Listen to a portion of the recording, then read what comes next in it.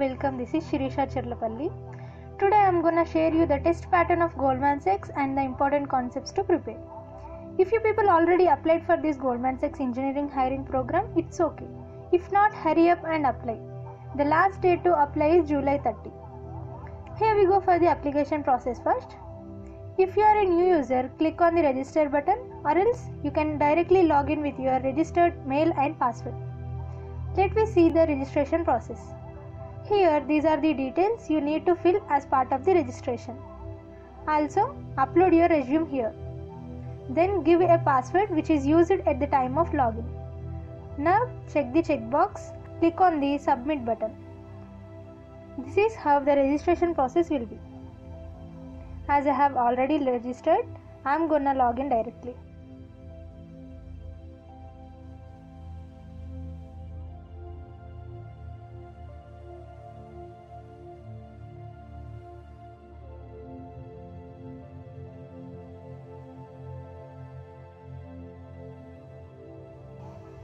And now click register for events.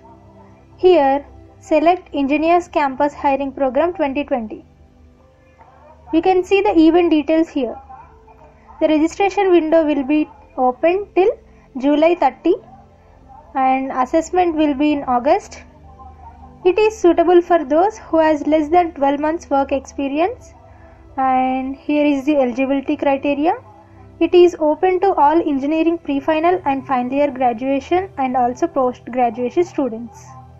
It is full-time offer for those students who are completing their graduation in 2021 and internship offer for 2022 graduation students.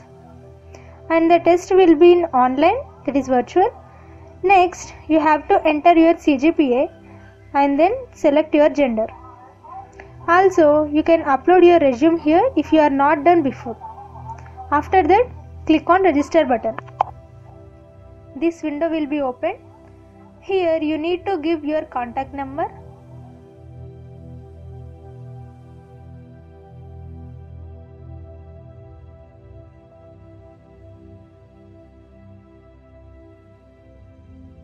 And select whether you have work experience or not.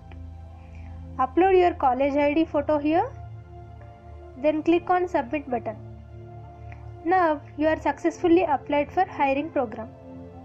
After registration, you will get the email from Goldman Sachs recruiting team for event confirmation. And also you'll get the test invitation mail from Goldman Sachs team one or two days before the assessment like this. Here is the timelines. You can log in and take the test at any point of time within given duration. And the test is for 2 hours. You have to wait 2 weeks for the results after the assessment. If you click on the start challenge button, it will be open this window and it uses HackerRank platform for the test. You can see the test duration is 120 minutes and 15 questions. Here is the instructions. The test has 4 sections and all sections are mandatory. And coding section has 2 programming questions. It is for 30 minutes. Next, you'll have 10 MCQs that you have to attempt in 30 minutes. For each MCQ, you'll get 5 marks for correct answer and minus 2 marks for incorrect answer. And you'll have an advanced section. In this, you have to solve one programming question and the duration is 45 minutes. The subjective section has two questions. It is for 15 minutes. If you are new to the HackerRank platform, you can take the sample test here to get familiarized with platform.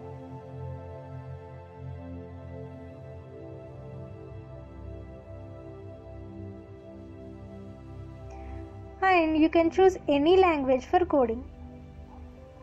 And click on the continue button to take the test.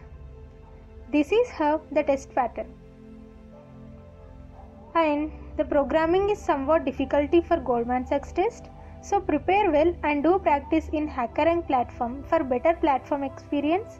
Also, you can understand the question quickly. The important topics you have to concentrate are dynamic programming, data structures and algorithms. If you well prepared with these concepts, it will be easy to attempt the test. So, this is what the Goldman Sachs test pattern and important concepts. Hope it is helpful and if you like it, click the like button, share and subscribe the channel. Also, press bell icon for all to get new notifications.